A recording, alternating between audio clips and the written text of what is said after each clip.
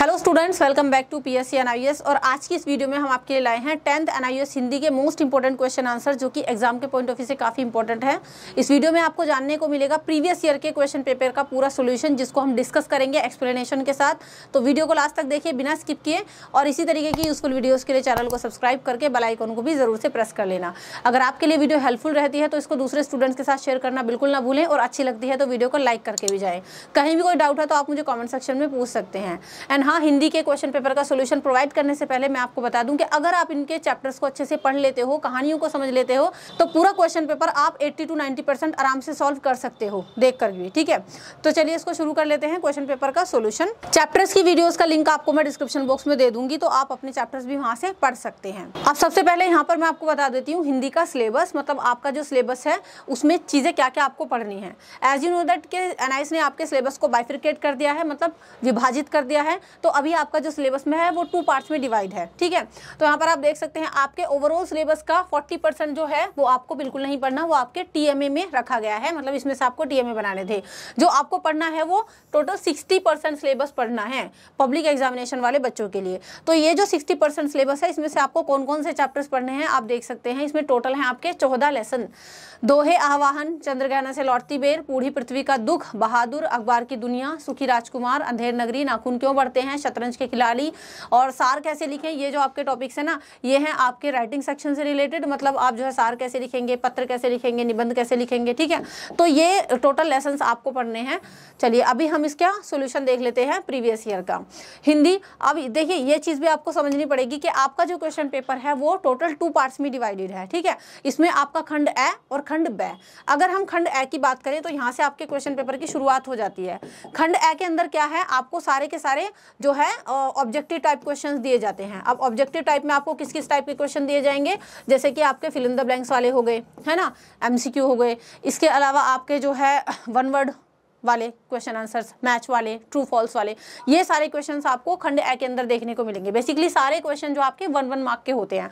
अगर आपने अपने चैप्टर्स अच्छे से पढ़ रखे हैं कॉन्सेप्ट क्लियर कर रखे हैं तो ये क्वेश्चन आप आराम से कर पाओगे, क्योंकि बहादुर ने क्यों जो है ऐसा किया? या किसी ने किसी को क्या बोला? या ये डायलॉग किसका है? या फिर इस पात्र को जो है कहानी से मैच करिए? ट्रू फॉल्स बताइए। तो जब आपके चैप्टर्स क्लियर होंगे तो ये तो आप आराम से कर ही लोगे, है ना? खंड ए के बहुविकल्पी प्रश्न उत्तर आप आराम से कर लोगे। तो इसके बाद जो हमारा खंड बया आएगा, उसमें आपके मिलेंगे आपको डिस्क्रिप्टिव क्वेश्चंस मतलब उनके ना आंसर आपको डिटेल में लिखने होंगे। उसमें आपको टू मार्क्स वाले फोर मार्क्स वाले वन मार्क वाले, इस तरीके के क्वेश्चंस मिलेंगे। चलिए, पहले हम अपने खंड ए को डिस्कस कर लेते हैं और इसमें आपको पहले दिया गया है वस्तुनिष्ठ बहुविकल्पीय जो फ़र्स्ट क्वेश्चन है, उसमें है कि निम्नलिखित प्रश्नों के रिक्त स्थान भरिए और अपनी उत्तर पुस्तिका में लिखिए, ठीक है? ठीक है? तो देखिए, ये रहा आपके जो है, ये वन वन मार्क के होंगे। पहला क्वेश्चन है कि मनुष्य के बारे में अपनी बात को अधिक स्पष्ट करने के लिए कबीर ने सोने के डैश का उदाहरण दिया है।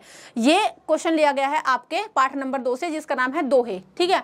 तो दोहे में कबीर ने ये कहा था कि भाई, अगर कोई इंसान है और ऊपर से वो अच्छे कपड़े पहन ले ठीक ठाक होकर के निकले, लेकिन अंदर उसके खूबियाँ नहीं हैं, अच्छे गुण नहीं हैं तो भी उसकी कोई प्रशंसा नहीं करता।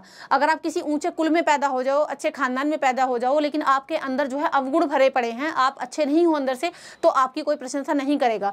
इस बात को ज़्यादा स्पष्ट करने के लिए कबीर ने जो है सोने के घड़े का उदाहरण दिया था। अब यहाँ पर आपको क्या फिल करना है? सोने का घड़ा। उदाहरण कैसे दिया था कि, भाई मान लो कोई सोने का घड़ा है ऊपर से सोने का है, लेकिन अंदर उसके शराब अगर हम भर दें तो जो अच्छे लोग हैं, जो सज्जन व्यक्ति हैं, वो उस घड़े की तारीफ़ नहीं करेंगे, क्योंकि बेशक वो बाहर से सोने का है, लेकिन अंदर उसके शराब जैसी तुच्छ चीज़ भरी हुई है, इसलिए लोग उसकी तारीफ़ नहीं करेंगे फिर, ठीक है? प्रशंसा नहीं करेंगे। तो इसलिए उन्होंने किसका उदाहरण दिया था?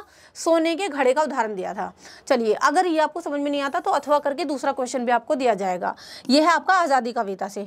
अभी स्टार्टिंग में जितने क्वेश्चन आपको देखने को मिलेंगे ना, वो आपकी कविताओं से होंगे, ठीक है? तो आपको कविताएँ अच्छे से पढ़नी पड़ेंगी इसके लिए। आज़ादी कविता के हिसाब से, आज़ादी का संबंध किस चीज़ से है? श्रम, डैश और बलिदान से। यानी अगर आपको आज़ादी चाहिए तो आपको श्रम करना पड़ेगा, इसके अलावा आपको त्याग। दूसरी चीज़ है आपकी त्याग। और तीसरा आपका बलिदान। ठीक है? तो आज़ादी का जो संबंध है वो श्रम, त्याग और बलिदान से है। चलिए नेक्स्ट आपका क्वेश्चन है। चंद्रग्रहण से लौटती बेर कविता में। ये आपकी एक कविता है तो चंद्रग्रहण से लौटती बेर कविता में शोषक वर्ग का प्रतीक कौन है? अब शोषक वर्ग कौन होता है? जो लोग शोषण करते हैं ना किसी का, ठीक है? एक्सपोलिएट करते हैं किसी को, उसको शोषण वर्ग कहा गया है। तो इसमें कुछ पक्षियों के, जानवरों के नाम है, जैसे कि चिड़िया है, बगुला है, मछली है या पत्थर। तो इस कविता में जो शोषक वर्ग प्रतीक है वो बगुले का। बगुले को एग्ज़ाम्पल दिया गया है, जैसे कि शोषक वर्ग को जो है यू नो इंडिकेट करने के लिए। अथवा में दूसरा क्वेश्चन भी है ये आपकी बूढ़ी पृथ्वी का दुख एक कविता है। जिसको निर्मला पुतुल जी ने लिखा है। तो इस कविता के आधार पर सही मिलान वाला विकल्प आपको चुनना है। यहाँ पर आपको कुछ दिए हुए हैं ये। इसका सही विकल्प आपको चुनना है। जैसे कि कविता का नाम है आपका बूढ़ी पृथ्वी बूढ़ी पृथ्वी का दुख, ठीक है? तो देखिए, यहाँ पर पहला मिलान ये है कि बूढ़ी जवान। तो जवान तो है नहीं पृथ्वी, बूढ़ी है। दूसरा है आपका पेड़। इस कविता में बताया गया है कि पेड़ जो है वो बहुत दुखी है। है ना? वो चीखे मारे हैं, चिल्ला रहे हैं, बचाव के लिए बुला रहे हैं। तो खुश तो है नहीं, ये भी गलत है आपका। वातावरण कैसा है? इस कविता के हिसाब से वातावरण हमारा प्रदूषित है। तो ये होगा आपका राइट नदियाँ कैसी हैं? नदियाँ साफ़ सुथरी बताई गई हैं तो साफ़ सुथरी तो है नहीं बिल्कुल भी, ठीक है? तो ये आपका थर्ड ऑप्शन होगा यहाँ पर राइट वातावरण प्रदूषित है। नेक्स्ट क्वेश्चन देख लेते हैं। निम्नलिखित प्रश्नों में से किन्हीं तीन प्रश्नों के रिक्त स्थान एक शब्द या वाक्यांश से भरिए। यहाँ पर आपको फिल इन द ब्लैंक्स दिए गए हैं। या तो एक वर्ड में उसको भरो, या फिर एक पूरे सेंटेंस में। जैसे कि पहला क्वेश्चन है, आह्वान कविता से। जैसे कि मैंने आपको अभी बताया ना, अभी स्टार्टिंग के सारे क्वेश्चन आप लोगों के जो है कविताओं से है। आह्वान कविता के अनुसार भारत में अनेक धर्मों डैश के लोग रहते हैं। अनेक धर्म दो डैश दिए गए हैं। इसके अलावा किस किस तरीके के लोग रहते हैं? अनेक धर्म, इसके अलावा संप्रदाय ठीक है? और जातियों के लोग यहाँ पर रहते हैं इस कविता के हिसाब से। ठीक है? तो देखिए इसका आंसर, अनेक जातियों और संप्रदायों के। ठीक है? ये हो गया। सेकंड है रहीम के अनुसार अनुकूल अवसर मिलते ही, है ना? सही मौका मिलते ही विद्वान को फिर से ज्ञान और डैश की बातें करनी चाहिए। तो ये रहीम जी ने जो दोहा दिया है, उसमें उन्होंने कहा था कि सही मौका मिलने पर ही जो इंसान विद्वान है ना, जो विद्वान इंसान है, जब उसको सही मौका मिले तभी उसको ज्ञान और मानव कल्याण की बातें बोलनी चाहिए। तो यहाँ पर आपका आएगा मानव कल्याण। चलिए नेक्स्ट क्वेश्चन है। आज़ादी कविता से लिया गया है। आज़ादी केवल राजनीतिक नहीं होती। ऐसा नहीं है कि केवल हमें राजनीतिक आज़ादी है तो ही हम आज़ाद हैं। इसके अनेक क्या होते हैं? इसके अनेक डैश और डैश हैं, यानी इसके अनेक संदर्भ और अर्थ है। आज़ादी के कई सारे अर्थ लगाए जा सकते हैं, अनेक सारे संदर्भ हैं। नेक्स्ट क्वेश्चन है, बूढ़ी पृथ्वी का दुख, ये जो कविता है, इसमें पेड़ों के हज़ारों हाथ, हाथों के हिलने से अभिप्राय डैश यानी ये आपका एक वाक्यांश में भरा जाएगा। ऊपर कहा गया था ना कि निम्नलिखित के जो है प्रश्न, एक शब्द या वाक्यांश में दीजिए तो यहाँ पर आपको एक पूरा सेंटेंस भरना है। तो इसमें कहा गया है, इस कविता में जो पेड़ चीखे मार रहे हैं, पुकार रहे हैं मतलब हेल्प मांग रहे हैं तो जो है वो क्या कह रहे हैं कि भाई, पेड़ अगर छोटी सी कुल्हाड़ी को भी महसूस कर लेते हैं ना कि हमारी तरफ़ कोई कुल्हाड़ी लेकर के आ रहा है तो वो डर के मारे बचाव के लिए पुकार रहे हैं। तो ये पूरा सेंटेंस आपका यहाँ पर भरा जाएगा। चलिए नेक्स्ट क्वेश्चन है क्वेश्चन नंबर फोर निम्नलिखित में से किन्हीं दो वाक्यों के रिक्त स्थान को भरिए और अपनी उत्तर पुस्तिका में लिखिए, ठीक है? चार नंबर के हैं ये आपके और आपको करने हैं इनके दो के आंसर फ़र्स्ट है हमारा फ़र्स्ट देख लेते हैं पहले, ये भी कविताओं से है। चंद्रग्रहण से लौटती बेर, ये जो कविता है, इसमें प्रकृति के डैश के रूप में आंचल डैश की प्रदान कर रही है, ठीक है? तो इसमें दो डैश आपको फिल करने हैं। ये जो कविता है, चंद्रग्रहण से लौटती बेर इस कविता में जो प्रकृति है, वो प्रकृति किसका रोल प्ले कर रही है? माँ का। जैसे कि माँ अपने बच्चों को आंचल देती है, ऐसे ही। तो प्रकृति माँ के रूप में आंचल की छाएँ दे रही है, छाव प्रदान कर रही है। नेक्स्ट है आपका ये जो आह्वान कविता है, आह्वान कविता के अनुसार कर्म रूपी डैश के बिना भाग्य रूपी डैश नहीं जल सकता।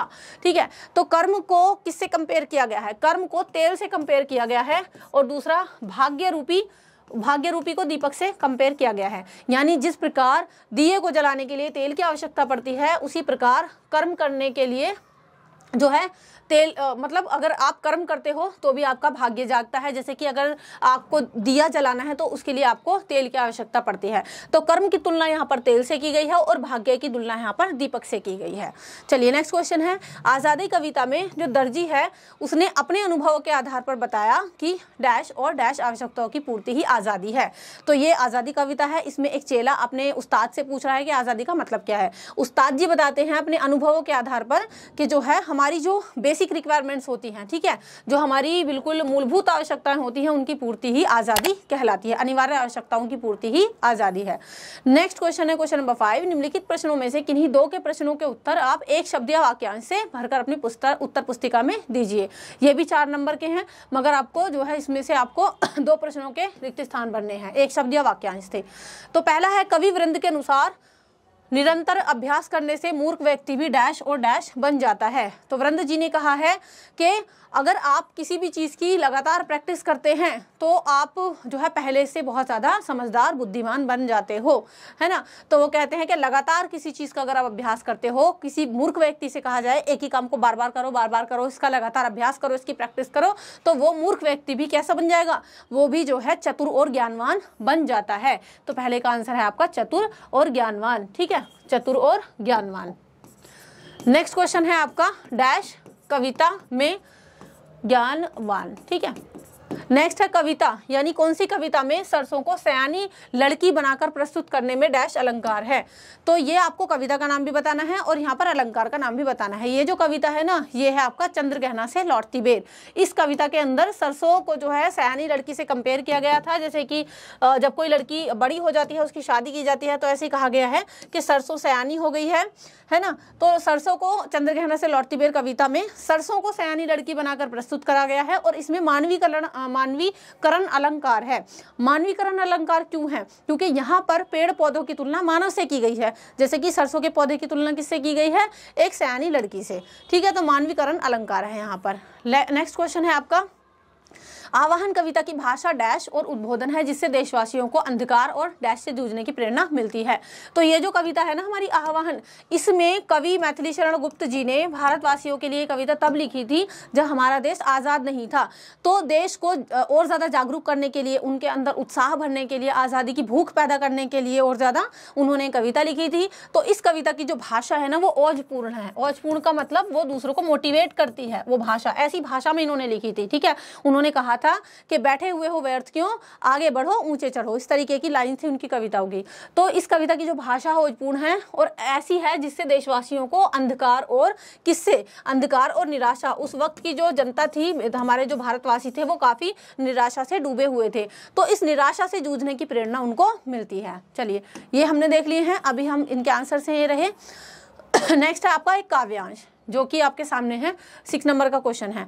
इस काव्यांश को आपको ध्यान से पढ़ना है और जो नीचे आपको क्वेश्चन आंसर दिए गए हैं, उनको अटेम्प्ट करना है, ठीक है?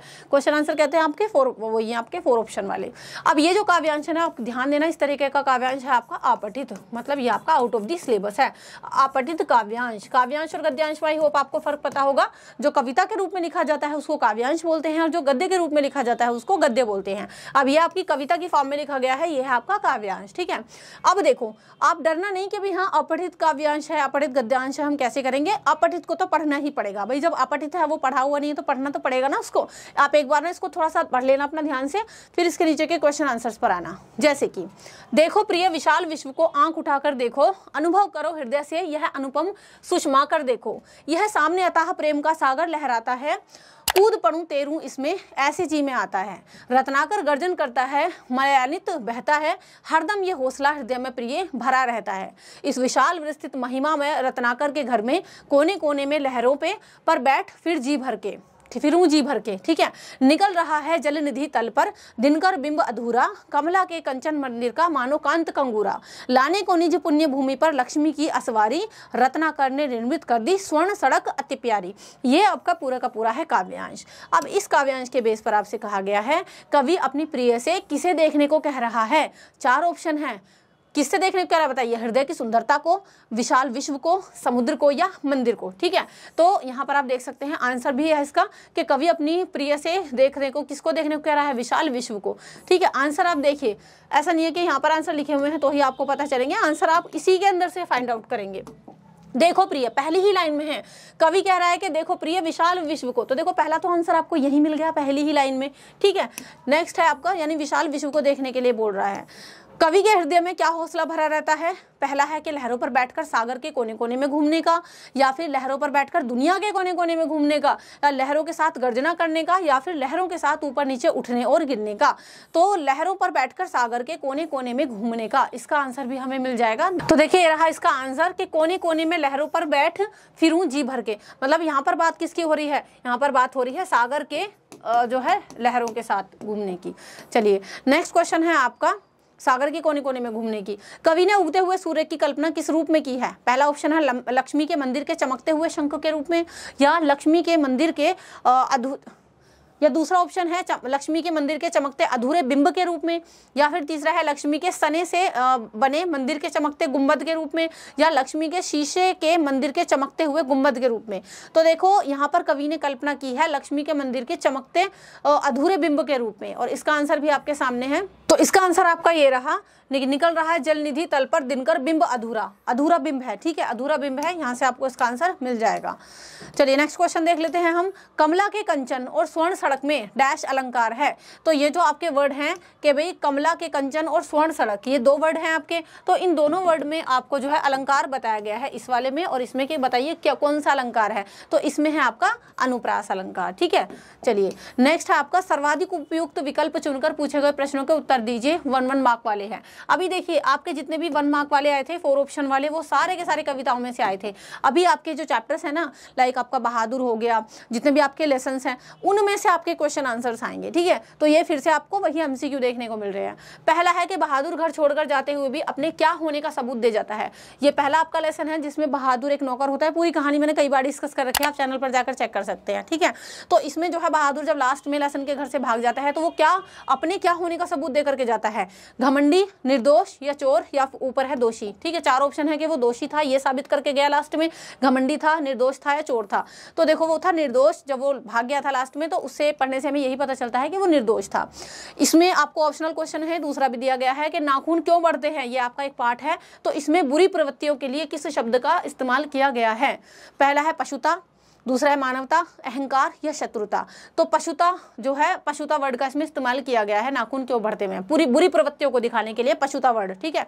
चलिए नेक्स्ट क्वेश्चन है, सर्वाधिक उपयुक्त विकल्प चुनकर रिक्त स्थान भरिए और अपनी उत्तर पुस्तिका में लिखिए। ये आपके फिर इन द ब्लैंक्स हैं, जो सारे के सारे आपके लेसन में से ही आएँगे। जैसे कि ऊपर आपके सारे कविताओं में से आए थे ना, ऐसे ही आपके लेसन में से आएँगे। लेसन में से भी आपके जो है, चार ऑप्शन वाले आगे दो क्वेश्चन अब ये आएँगे आपके, ठीक है? पहला है आपका इंट्रो के बाद, यह आपका लेसन का नाम है, अखबार की दुनिया।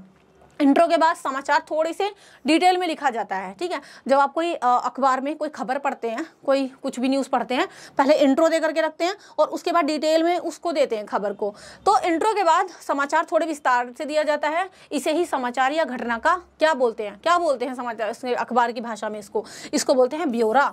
ठीक है तो इसको अखबार की भाषा में इसे ही समाचार या घटना का ब्यौरा बोला जाता है। दूसरा क्वेश्चन है अथवा करके मतलब ये समझ में नहीं आता तो आप जो है दूसरे क्वेश्चन को भी कर सकते हैं। अच्छा जहाँ पर आपको ना अथवा करके दिया जाए, उसको आप ध्यान रखना, एक ही क्वेश्चन को अटैम्प करना है। फटाफट दोनों पढ़ो और दोनों में से जो आता है, उसको लिख दो। दोनों लिखने का तो कोई फ़ायदा है भी नहीं। सेकंड है आपका सुखी राजकुमार। ये जो कहानी है, इसमें गोरैया बार बार किस देश में जाने का ज़िक्र करती है? जब आप इस कहानी को पढ़ते हो ना, आपको बहुत कुछ सीखने को मिलता है, अच्छी भी कहानी है। तो इस कहानी में गोरैया बार बार जाना चाहती है, वो बार बार बोलती है कि मुझे उस देश जाना है, मुझे उस देश जाना है। कौन सा देश था वो? चार ऑप्शन है, चीन था, मिस्र था, जर्मनी या लंदन। तो बार बार बोलती है कि मुझे मिस्र देश जाना है। तो मिस्र आपका राइट आंसर है। नेक्स्ट है, निम्नलिखित प्रश्नों के उत्तर के रूप में दिए गए विकल्पों में सर्वाधिक उपयुक्त विकल्प छाट अपनी उत्तर पुस्तिका में लिखिए। फिर से आपके वही ऑब्जेक्टिव टाइप क्वेश्चन पहला है अंधेर नगरी और चौपट राजा की कल्पना का कारण क्या है? ये आपका एक लेसन है जिसका नाम है अंधेर नगरी। तो इस लेसन का जो नाम है अंधेर नगरी और इसके अंदर कहा गया है कि वहाँ का राजा था चौपट तो इसकी जो कल्पना की गई है इस कहानी की, उसका क्या कारण है? चार ऑप्शन है। इस कहानी के माध्यम से ब्रिटिश शासन की न्याय प्रियता को उभारने का दृष्टिकोण था या फिर दर्शकों के लिए हास्य रस का वातावरण जगाने का प्रयास था कि भाई दर्शक इसको पढ़ के इसको देख के हंसे या फिर ब्रिटिश शासन की सीधे तौर पर आलोचना ना कर पाने की स्थिति। मतलब वहाँ पर जो ब्रिटिश शासन था उसकी लोग सीधे तौर पर आलोचना नहीं कर पा रहे थे डायरेक्टली नहीं कर, कर पा रहे थे। तो इस वजह से ये लिखा गया या फिर इतिहास के संघों की नई व्याज्ञा प्रस्तुत करने का ये एक उपाय था। तो देखो राइट ऑप्शन है आपका ये कि इस कहानी के माध्यम से अंधेर नगरी कहानी के माध्यम से जो लेखक था वो ब्रिटिश शासन की सीधे तौर पर तो आलोचना नहीं कर पा रहा था ठीक है? नेक्स्ट आपका क्वेश्चन है, नीचे दिए गए कथनों में से किन्हीं दो कथनों को उत्तर पुस्तिका में लिखिए और बताइए कि वे सही है गलत। मतलब वही आपका राइट रोंग वाले हैं। फ़र्स्ट क्वेश्चन है, बहादुर कहानी के वाचक में मध्यम वर्गीय व्यक्ति के गुण और दोष दोनों मिलेंगे, है ना? तो ये आपका राइट है। जो एक मिडिल क्लास फैमिली होती है, इस कहानी को पढ़ के आपको पता चलेगा कि उसके अंदर क्या क्या गुण होते हैं और क्या क्या दोष होते हैं। तो ये आपका है राइट ठीक है? दूसरा है समाचार संवाददाता के विचारों पर आधारित होते हैं। नहीं जी, समाचार जो है वो संवाददाता के विचारों से पर आधारित नहीं होते। ऐसा नहीं है कि जो जो जो ना संवाददाता के जो विचार हैं, बस वो उन्हीं को छाप देगा। ऐसे नहीं होता। तो ये आपका फॉल्स है। नेक्स्ट है, नाखून क्यों बढ़ते हैं? इस पाठ के अनुसार अच्छी तरह से सोच समझ कर परख कर हमें किसी वस्तु या पद्धति को अपनाना चाहिए।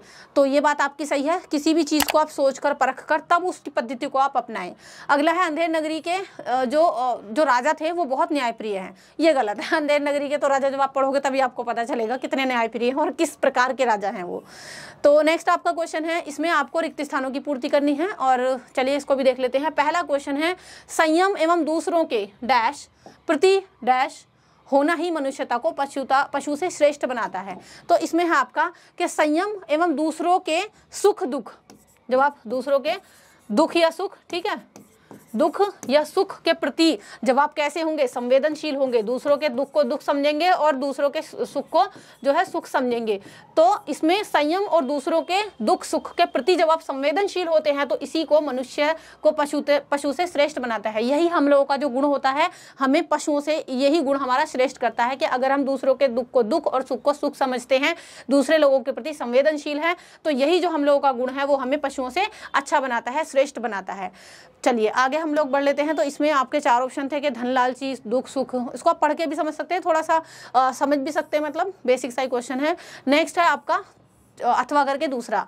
निबंध में डैश होनी चाहिए, वाक्य कैसे होने चाहिए, छोटे तथा डैश होने चाहिए। तो निबंध में एक तो देखो जब आप कोई भी ऐसे लिखते हो ना तो उसमें आपकी क्रमबद्धता होनी चाहिए। मतलब आप सही तरीके से सही क्रमबद्ध, बद्ध तरीके से उसको लिखो। दूसरा, वाक्य छोटे और प्रभावशाली। छोटे छोटे सेंटेंस आप बनाओ और इस तरीके के वर्ड आप यूज़ करो कि वो इफ़ेक्टिव हो, प्रभावशाली हो, ठीक है?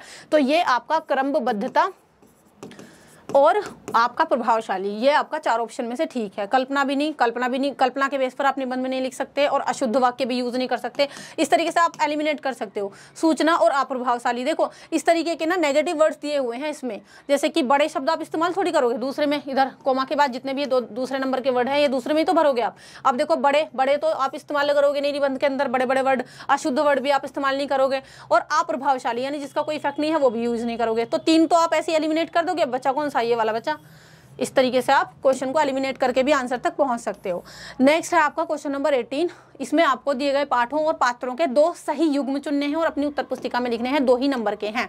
ठीक है? यानी वही आपके पाठ हैं, पाठ वही हैं, देखो, उनमें से आपके एमसीक्यू भी आ रहे हैं फिल द ब्लैंक्स भी आ रहे हैं ट्रू फॉल्स वगैरह भी आ रहे हैं, बस आपको अपने लेसन को पढ़ना है। जैसे कि पहला है आपका पाठ का नाम, इधर सारे पाठ के नाम दिए हुए हैं और इधर पात्रों के नाम दिए हुए हैं। अंधेर नगरी अंधेर नगरी पाठ का नाम है ये।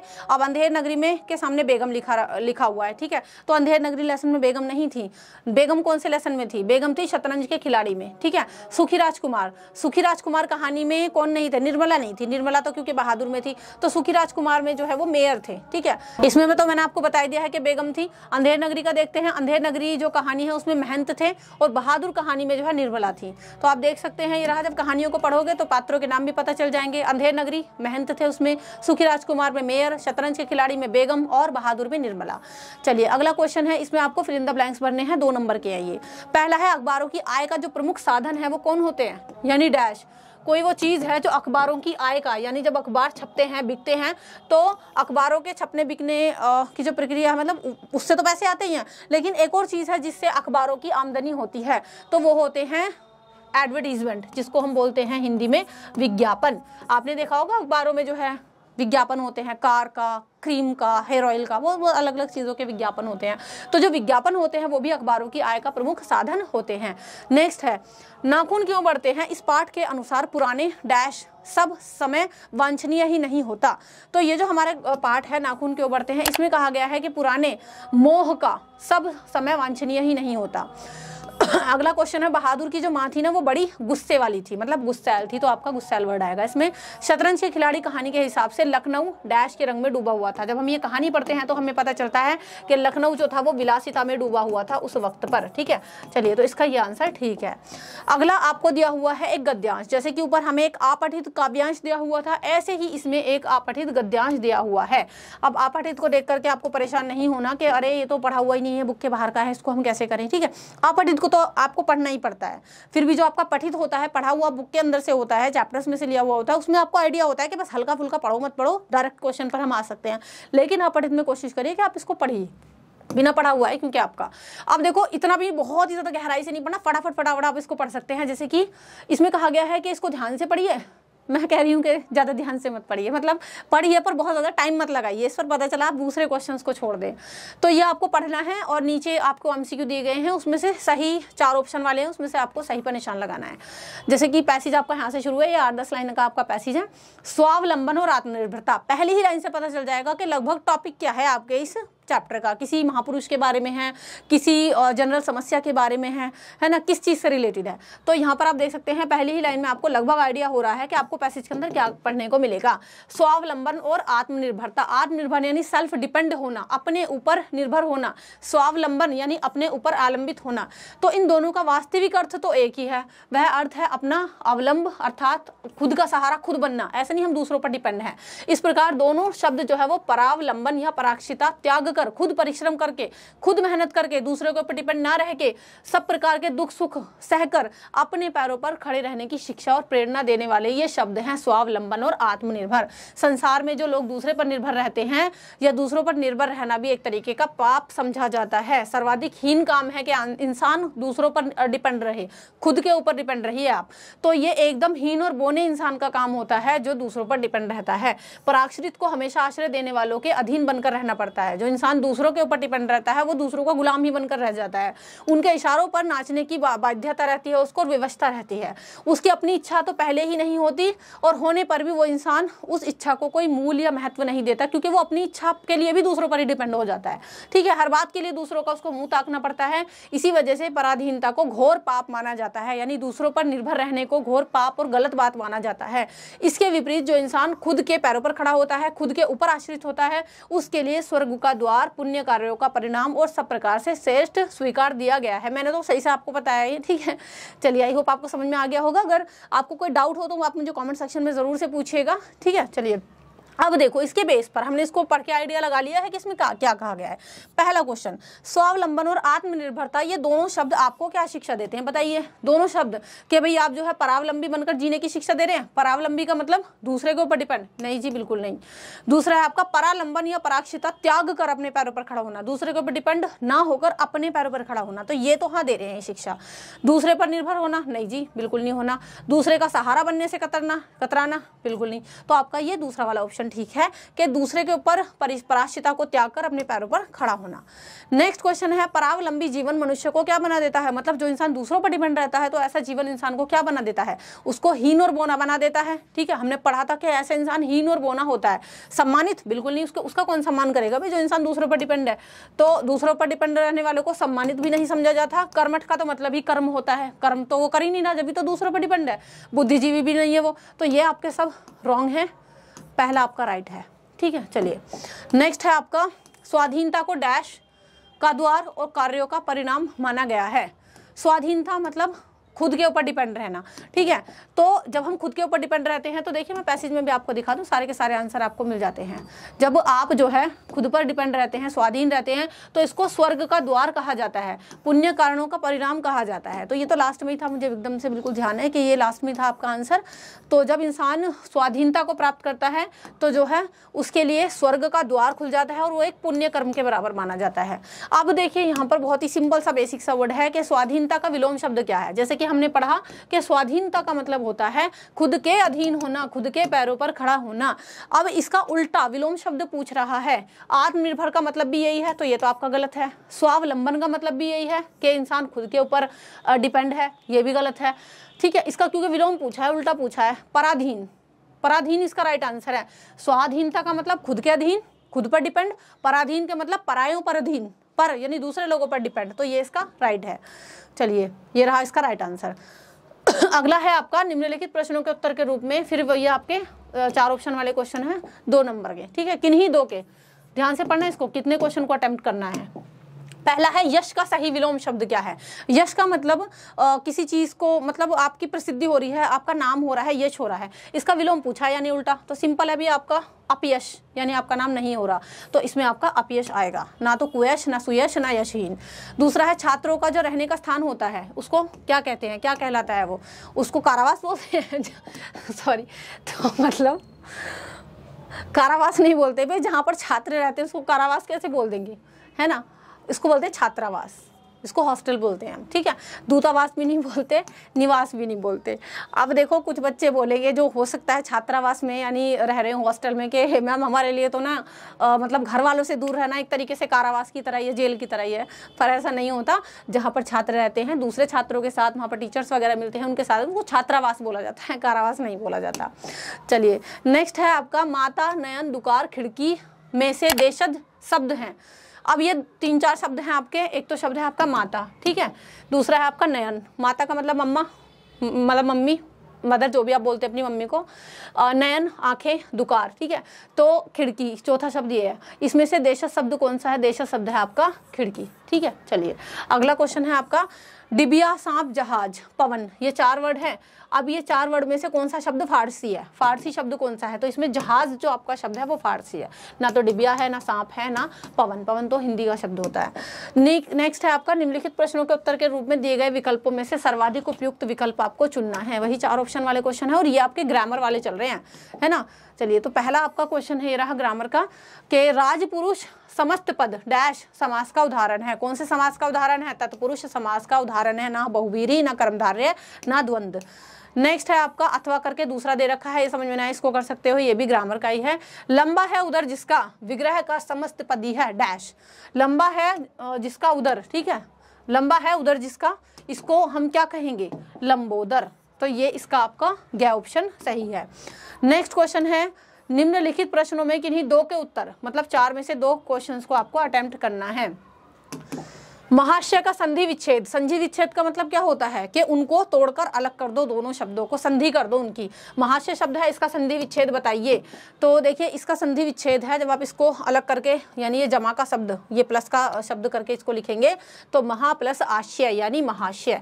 महा प्लस आशय दूसरा है आपका परोपकार का संधि विच्छेद। बहुत ही बेसिक से क्वेश्चन है। परोपकार का है आपका, पर प्लस उपकार। परोपकार। तथा प्लस एव की संधि क्या है आपकी? तथैव। चलिए, ठीक है? दूसरा है सु प्लस आगत की संधि क्या है? सु प्लस आगत। स्वागत। ये होगी। नेक्स्ट है आपके निम्नलिखित में से दो के उत्तर। मतलब यहाँ पर भी चार में से आपको दो के उत्तर देने हैं और ये भी आपके ग्रामर से रिलेटेड ही हैं। संधि विच्छेद यू नो उपसर्ग, प्रत्यय और समास, ये सिंपल से टॉपिक ही हैं आपकी ग्रामर के। इनको आपको अगर डिटेल में भी पढ़ना होगा मतलब इतने ज़्यादा वैसे टफ भी नहीं आते हैं। दूसरा दो नंबर के क्वेश्चन है ये। पहला है परिक्रमा शब्द में उपसर्ग क्या है? अब देखो, दो शब्द हैं ये। दो दो क्वेश्चन है उपसर्ग से लेकर रिलेटेड दो हैं प्रत्यय से लेकर रिलेटेड उपसर्ग को आप जो है समझिए, उपसर्ग का मीनिंग क्या होता यानी जो आगे आपका लगता है किसी शब्द के आगे। और प्रत्यय का मीनिंग क्या होता है? प्रत्यय का मीनिंग होता है जो पीछे लगता है किसी शब्द के। जैसे कि सिंपल सी बात है, परिक्रमा, ये शब्द है। इस शब्द में उपसर्ग क्या है? ठीक है, उपसर्ग का मतलब जो आगे लगता है। अब देखिए ये रहा। पूरा शब्द है आपका परिक्रमा। अब इसका उपसर्ग उपसर्ग जैसे कि मैंने आपको बताया कि जो आगे लगेगा तो ये रहा आपका आगे वाला पार्ट, परि। परिक्रमा शब्द में परि जो है, इसका वो उपसर्ग है। विश्राम शब्द में कौन सा उपसर्ग है बताइए? तो विश्राम शब्द है, इसका है आपका विश ठीक है? विश सॉरी विश विश शब्द है इसका। अब दो, ये तो हो गए उपसर्ग के, जो आगे लगते हैं। फिर यहाँ आपके प्रत्यय के। प्रत्यय, जैसे कि मैंने आपको कहा कि पीछे वाले शब्द। सजीरा शब्द में, इसका बताइए कौन सा प्रत्यय है? कौन सा प्रत्यय इस्तेमाल किया गया है? तो इसमें सज तो हो गया क्या? आपका उपसर्ग ईला। ठीक है? तो ईला बड़े की मात्रा लगेगी क्योंकि ईला, यानी खिचड़ी बड़े की मात्रा हमारी यहाँ पर भी लग रही है। तो ईला मत लिख देना इसको, ईला, ठीक है? तो सजीला में आपका ईला प्रत्यय का प्रयोग है। ऐसे ही आपका एक और शब्द है, लेखक। तो लास्ट ये जो है आपका, ये तो उपसर्ग हो गया, लेख। और ये जो क्या आपका है लास्ट वाला, इसमें प्रत्यय है आपका क्या? तो ये भी आई होप आपको समझ में आ गया होगा, बहुत ही सिंपल है तो। नेक्स्ट है आपका, निम्नलिखित में संयुक्त वाक्य क्या है, ठीक है? सरल वाक्य है, संयुक्त वाक्य है। सरल तो वही है, बहुत ही सिंपल सा, जो एक सेंटेंस हो। कहीं ना फुल स्टॉप हो, ना कोमा आ रहा मतलब फुल स्टॉप तो रहा होगा। कोमा नहीं आ रहा हो उसमें, कुछ ऐसा नहीं हो, बस सरल सिंपल एक ही सेंटेंस पहला है आपका, इसमें संयुक्त वाक्य पूछा है आपसे, ठीक है? जैसे कि संयुक्त परिवार होता है, जहाँ पर काफ़ी सारे लोग मिलते हैं संयुक्त रूप से। ऐसे ही एक ऐसा पूरा सेंटेंस जिसमें दो सेंटेंसों का या मतलब थोड़ा बड़ा सेंटेंस हो वो। पहला है, महात्मा गांधी ने कहा कि गाय करुणा की कविता है, ठीक है? मैंने गौरा को देखा और उसे पालने का निश्चय किया। तीसरा है, अध्यापक चाहते हैं कि उनके शिष्य अच्छे बने। और चौथा है, मैंने एक बहुत सुंदर चिड़िया देखी। ठीक है, चिड़िया देखी। तो ये तो गलती आपका। इसमें आपका ख्या वाला ठीक है कि मैंने गौरा को देखा और उसे पालने का निश्चय किया। ये आपका संयुक्त वाक्य है। अथवा में दूसरा भी दे रखा है, निम्नलिखित में से मिश्र वाक्य बताने आपको। ठीक है, मिश्र वाक्य। अब चार ऑप्शन है, जैसे कि जब वह मुंबई गया, तब उसने वहाँ नया व्यापार शुरू किया। दूसरा है, वह दो दिन गाँव में रहकर सबका प्रिय हो गया। तीसरा है, संतोषी व्यक्ति जंगल में भी खुश रहते हैं या अतिथि आए और कार्यक्रम शुरू हो गया। तो देखो, इसका जो राइट ऑप्शन है, वो ये है पहला कि जब वह मुंबई गया, तब उसने वहाँ नया व्यापार शुरू किया। अब नेक्स्ट क्वेश्चन है आपका, निम्नलिखित वाक्यों में से शुद्ध वाक्य कौन सा है? शुद्ध वाक्य का मतलब आपको कुछ अशुद्ध दे रखा है लिखे हुए, आपको उसको शुद्ध करना है। जैसे कि पहला है, मैंने अखबार पढ़ी। तो अखबार पढ़ी कौन बोलता है? ये आपका गलत है। दूसरा है, मैंने अखबार पढ़ेंगी। ऐसा भी नहीं बोलते। मैंने अखबार पढ़ा, है ना? तो ये आप बोलते हैं, मैंने अखबार पढ़ेंगा। पढ़ेगा कौन बोलता है? आपका थर्ड ऑप्शन राइट है। अथवा करके नेक्स्ट एक और क्वेश्चन है, अगर ये समझ में नहीं आया, आप इस वाले को शुद्ध कर सकते हो। जैसे कि यहाँ भैंस का ताज़ा दूध मिलता है, यहाँ ताज़ा भैंस का दूध मिलता है, यहाँ दूध मिलता है ताज़ा भैंस का, या यहाँ भैंस का ताज़ी दूध मिलती है। तो देखो, पहला ऑप्शन इसमें राइट है आपका, यहाँ भैंस का ताज़ा दूध मिलता है। चलिए, ऐसे बोलते हैं इस बात को। नेक्स्ट है सत्ताईस नंबर का क्वेश्चन जिसमें पहला है आपका। ये सारे देखो आपके ना ग्रामर वाले क्वेश्चन चल रहे हैं, व्याकरण संबंधित। तो पहला है इसमें आपका, फूले, फूला ना समाना। ये आपका एक मुहावरा होता है ना, कि फूले नहीं समा रही मैं तो या वो फूले नहीं समा रहे है ना? तो इस मुहावरे का क्या मतलब है? फूले ना समाने का मतलब यह वज़न बढ़ गया मेरा, इसलिए मैं फूले नहीं समा रही वज़न बढ़ने का मतलब नहीं होता ये। फूले ना समाने का मतलब होता है बहुत खुश होना, अत्यंत प्रसन्न होना, ठीक है? निराश होना भी नहीं होता, निराश थोड़ी हो रहे हो आप, और अत्यंत मोटा भी नहीं हो रहे इसमें। इसका मतलब होता है इस मुहावरे का मतलब कि इंसान बहुत खुश है, इंसान बहुत प्रसन्न है। चलिए, इसके अथवा करके दूसरा भी है, इसमें आपको रिक्त स्थानों की पूर्ति करनी है एक मुहावरे के थ्रू। या तो आप वो वाला इस प्रकार का कर लो, मुहावरे वाला क्वेश्चन या फिर इस प्रकार का कर लो। जैसे कि इसमें है रिक्त स्थान की पूर्ति करिए, अथवा में है ये, है ना?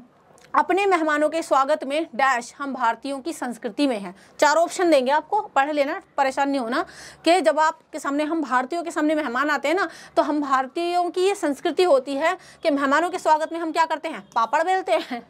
है ना? या फिर उनको देख के नाक मुँह चढ़ा लेते हैं? नहीं मतलब उनको देख के ऐसी वैसी हो जाते हैं मतलब अच्छा नहीं मानते। ऐसा नहीं है भाई, हम भारतीयों की संस्कृति क्या होती है कि हम अपने मेहमानों के स्वागत में पलके बिछा लेते हैं तो आपका ये थर्ड ऑप्शन राइट है। जोड़ तोड़ नहीं करते कि जोड़ तोड़ कर रहे मेहमान आएँगे और कितना क्या हिसाब बैठता है? ऐसा नहीं करते, पलके बिछाते हैं हम लोग जब मेहमान आते हैं। तो ये आपका यहाँ तक हमने खंड ए डिस्कस किया है, पूरा का पूरा, जो कि आपका ऑब्जेक्टिव टाइप के क्वेश्चन से भरा हुआ था। आई होप आपको जो है अच्छे समझ में आ गया होगा। अभी हम लोग बढ़ेंगे अपने खंड बै की ओर। चलिए, यहाँ पर हम लोग खंड बै को डिस्कस कर लेते हैं, जिसमें आपसे विषयनिष्ठ और वर्णात्मक प्रश्न पूछे गए हैं। पहला है आपका कि आपको निम्नलिखित काव्यांश के कवि और कविता का नाम बताना है और उसका काव्य सौंदर्य स्पष्ट करना है, ठीक है? काव्यांश दे देंगे एक और उसके कवि और कविता का नाम बताओ, कहाँ से लिया गया है और काव्य सौंदर्य बताइए। चार नंबर का क्वेश्चन है ये। पहला है इसमें, पावस देखी रहीम मन कोयल साधे मौन और अब दादुर बक्ता भाई हमको पूछत कौन? ये जो है, रहीम जी ने लिखा है और ये आपका पार्ट नंबर दो से लिया गया है, जिसका नाम है दोहे। यहाँ पर जो है, उन्होंने कहा है इस दोहे में, देखो इसमें कहा गया है ना आपसे कि काव्य सौंदर्य स्पष्ट कर दिया। और उससे पहले काव्यांश के कवि और कविता का नाम बताओ। तो पहले तो आपको कवि और कविता का नाम बताया, बताना है कि ये जो दो लाइन है, वो किसने लिखी है? ये दोहा किसने लिखा है? ये दोहा कवि रहीम ने लिखा है।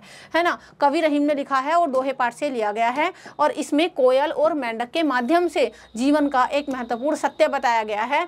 कोयल को ज्ञानवान व्यक्ति के रूप में बताया गया है कि जैसे कि कोई इंसान ज्ञानवान होता है तो उसकी तुलना कोयल से की गई है। जबकि जो मेंढक होता है, उस मेंढक क्या करता है? शोर मचाकर दूसरों का ध्यान खींचता है तो वो उस चीज़ का प्रतीक है। वर्षा ऋतु आने पर कोयल क्या करती है? पावस आने पर। पावस का मतलब वर्षा ऋतु आने पर कोयल मौन साध लेती है। उसको पता है कि अब तो जो है ना, अब दादुर भक्ता भाई। भक्ता का मतलब अब तो मेंढक बोलेंगे, दादुर का मतलब मेंढक, के अब तो मेंढक बोलेंगे, अब हमको पूछे तो कौन, हमें कौन पूछेगा? तो वर्षा ऋतु आने पर कोयल इतनी समझदार होती है, उसको पता है कि अब मेरी मधुर वाणी कोई नहीं सुनेगा, अब तो मेंढकों का दौर आ गया है, क्योंकि वर्षा वर्षा ऋतु है तो अब तो लोग मेंढक को पूछेंगे, अब हमें कौन पूछेगा? ठीक इसी प्रकार जो है, जब बहुत सारे बुद्धिहीन या फिर बहुत सारे बेवकूफ़ लोग एक ही बात को सपोर्ट कर रहे हों, सब एक ही मुँह हो जाएँ तो फिर जो समझदार इंसान होता है ना, वो चुप लगा जाता है कि भाई हाँ मुझे कोई नहीं सुनेगा। तो अगर कहीं पर बहुत सारे बेवकूफ़ लोगों की मंडली हो, टोली हो और वो एक ही बात को समर्थ कर, समर्थन कर रहे हो तो समझदार व्यक्ति की समझदारी इसी में है कि वो जो है अपना चुप रहे फिर, है ना? तो अब मेंढक हमेशा वो चुप रहेगी और यह कवि यह संदेश देना चाहता है कि विद्वान लोग उस समय मौन साध लेते हैं जब मूर्ख बातें बातें करते हैं। लेकिन कुछ समय बाद विद्वान अपने अनुकूल यानी अपना सही टाइम मिलने पर फिर से अपना बोलना शुरू कर देते हैं। अथवा करके दूसरा भी है, अगर ये वाला आपको जो है काव्यांश समझ में नहीं आता तो आप दूसरा भी कर सकते हो और ये भी आपका चार नंबर का ही है। ठीक है, यह आज़ादी कविता से लिया गया है।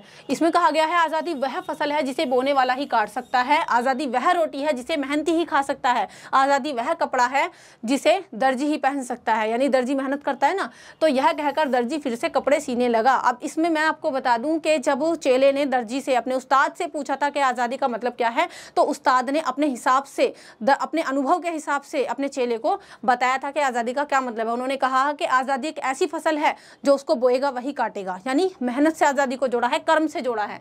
आज़ादी वह रोटी है जिसे मेहनती ही खा सकता है, आज़ादी वह कपड़ा है जिसको दर्जी ही सिएगा यानी जो मेहनत करेगा वही आज़ादी भोगने का जो है सही हकदार होता है। ये कवितांश मलयालम के प्रतिनिधि कवि मतलब इतना लंबा अगर आप नहीं लिख पाओ, बस इतना बता देना कि ये जो कविता है, ये बाल चंद्र चुल्लीकाड नाम है उनका। उन्होंने ये कविता लिखी है और ये किस कविता से ली गई है? आज़ादी नाम की कविता है, उस पाठ से लिया मतलब उस कविता से ली गई है। और इस कविता का जो हिंदी अनुवाद है, वो असद जैदी ने किया था। तो बेसिकली ये जो कविता थी, वो मलयालम भाषा में लिखी गई थी, इसका हिंदी अनुवाद किया था असद जैदी ने। तो असद जैदी हिंदी के एक मशहूर साहित्यकार हैं और इसमें उन्होंने ये बताया है कि आज़ादी, हर आदमी आज़ाद रहना तो चाहता है, लेकिन उसे आज़ादी का मतलब नहीं पता। शायद किसी को ही आज़ादी का मतलब पता होगा। इंसान तभी आज़ाद है जब वह अनुशासन में रहे। लेकिन अनुशासन के साथ आज़ादी एक बंधन भी है। आज़ादी के लिए इंसान को मेहनत करनी पड़ती है। ठीक है? ये इन्होंने इसमें बताया है। अब अगला क्वेश्चन है, सप्रसंग व्याख्या कीजिए। ऊपर तो आपको काव्यांश दिया गया था। उसका काव्य सौंदर्य आपको बताना था। ठीक है? यहाँ पर फिर से आपको कविताओं में से ही क्वेश्चन दिए जाएँगे। दो दो में से आपको एक करना होगा। ये तीन नंबर के होंगे। तीन नंबर का एक क्वेश्चन अटेम्प्ट करना होगा। और इसमें आपसे कहा गया है कि नीचे दिए हुए इस प्रसंग की, है ना, सप्रसंग की, इस वाले काव्यांश की सप्रसंग, प्रसंग सहित व्याख्या करनी है। इसको सिंपल सी हिंदी में लिखना है खोल खोल के। जैसे कि थोड़ा सा वक्त चुराकर बतियाता है कभी कभी शिकायत ना करने वाली गुमसुम बूढ़ी पृथ्वी से उसका दुख। अगर नहीं तो क्षमा करना, मुझे तुम्हारे आदमी होने पर संदेह है। ठीक है? तो ये कविता है हमारी जो है कौन सी है? बूढ़ी पृथ्वी का दुख। तो यहाँ पर ना कवि निर्मला पुतुल ने ये कविता लिखी है तो वो कह रही है, सबसे पहले तो आपको यही बताना है, प्रसंग। प्रसंग के अंदर आप क्या बताओगे? ये कवितांश जो है आदिवासी कवित्री निर्मला पुतुल जी ने लिखी है और उनकी कविता का नाम है बूढ़ी पृथ्वी का दुख। वहाँ से ली गई है। ये दो बात आपने बता दी, कविता का नाम और कवि का नाम। उसके बाद इन दो की आपको व्याख्या करनी है कि इसमें कहा क्या गया है। जैसे कि इसमें कवित्री ने पेड़, नदी, पहाड़, हवा और पृथ्वी को मानव के रूप में प्रस्तुत किया है, उनका मानवीकरण किया है। जैसे जैसे कि जब इंसान के ऊपर कोई कुल्हाड़ी लेकर जाए, उसको चोट पहुँचाए तो इंसान को दुख होता है। ठीक उसी प्रकार, प्रकृति के चाहे पेड़ पौधे हों जीव जंतु हो, कोई भी चीज़ हो, अगर हम मानव उनको नुकसान पहुंचाएँगे तो उनको भी तो दुख होता है ना? है ना? चलिए कमेंट करके मुझे ज़रूर बताना कि आप नेचर लवर हो या नहीं। आई होप ज़रूर होगे। नेचर से किसको लव नहीं होता भाई?